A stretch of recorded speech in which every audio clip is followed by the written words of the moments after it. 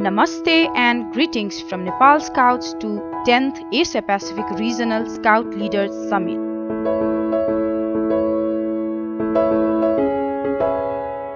Nepal Scouts is pleased and thankful for the opportunity to share NSO best practice on adults in scouting. Nepal Scouts had been putting its effort in the best of its capacity for the management of adults in scouting.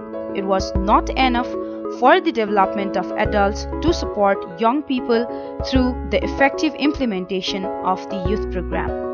Therefore, we felt a need of expert advices to create a policy document that develops the ways and means by which quality leadership at all levels can be improved through providing better support and management for all adults resulting in the provision of providing quality youth program for young people. On December 2019, we approached World Scout Bureau Asia Pacific Regional Support Center for WOSM services seeking for the consultation. Being a SAGNO, we also approached to World Association of Girl Guide and Girl Scouts Asia Pacific region as a partner for the consultation process. It was on 12th July 2020 when the team held its first meeting. We proudly received the first policy document on adults in scouting that is Nepal Scouts National Adult Development Policy on November 2020. For proper implementation, Nepal Scouts successfully organized the launching event of National Adult Development Policy on 23rd January 2021. The WOSM services not only focused on the creation of National Adult Development Policy but also for the implementation of the document.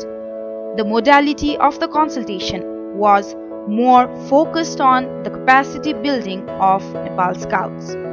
Now we are moving on towards the initiative that Nepal Scouts has undertaken as a part of the life cycle of adults in scouting for their retention. Since last year, Nepal Scouts has been emphasizing on the leadership development program for adult leaders. Capacity intensification workshop, large number of basic training courses, to expand scouting community at all levels of Nepal in order to revise the youth program of all the sections of Nepal Scouts adult leaders contribution was significant thus surveys and events were piloted leader trainers survey youth involvement for rover rangers